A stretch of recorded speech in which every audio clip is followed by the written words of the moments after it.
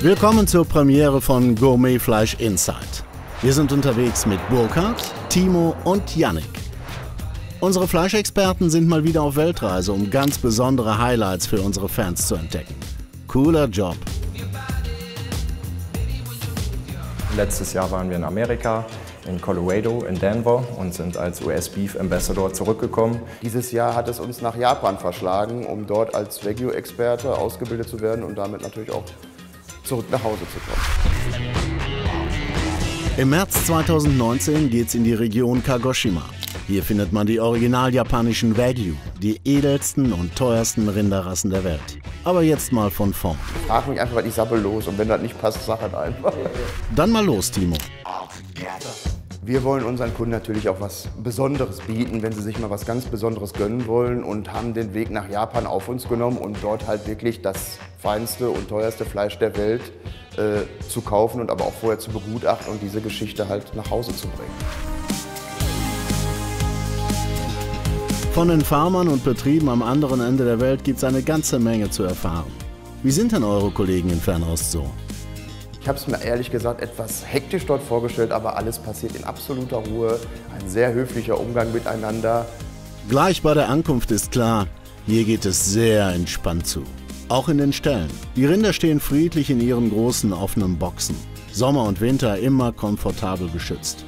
Und das wollten unsere Jungs sich alles mal genauer anschauen. Wer sind unsere Ansprechpartner? Wo stehen unsere Tiere? Wo kommt unser Fleisch her? Das sind ganz wichtige Punkte, die wir einfach wissen wollen. Und ganz wichtig ist die Genetik. Die Rinder werden halt in Ställen gehalten und werden sehr gehaltvoll mit Getreide gefüttert und dadurch setzen die dann Fett an. Und wie ist es mit der sagenumwobenen Luxusbehandlung? Klassische Musik vor Ort haben wir nicht gehört, aber ähm, wir konnten beobachten, wie die Rinder sich ein Bier gegönnt haben. Ach, hör auf. Es geht eben etwas anders zu in Japan. Dass die Fleischqualität schon bei der Aufzucht anfängt, gefällt unseren Gourmet-Fleischexperten sehr. Ein Anspruch, der verbindet. Beim Dinner mit den neuen Freunden fällt sofort auf, Japaner genießen ihr Fleisch sehr bewusst. Also der äh, Japaner isst ein Stück Rindfleisch ganz anders, als wir es gewohnt sind. Japaner essen Fleisch als Beilage. Ganz kleine Portionen, ähm, aber allerhöchste Genussstufe. Die essen ihr Fleisch in ganz feinen Tranchen geschnitten. Dazu ein leckeres Gemüse, äh, maximal 100 Gramm pro Person und das reicht völlig aus. Auch da liegt das Geheimnis. Qualität statt Quantität. Ein 300 Gramm Wagyu-Steak ist unmöglich zu essen. Es wäre so, als würde man eine ganze Schachtel Pralinen kaufen und die mit einmal aufessen. Fazit?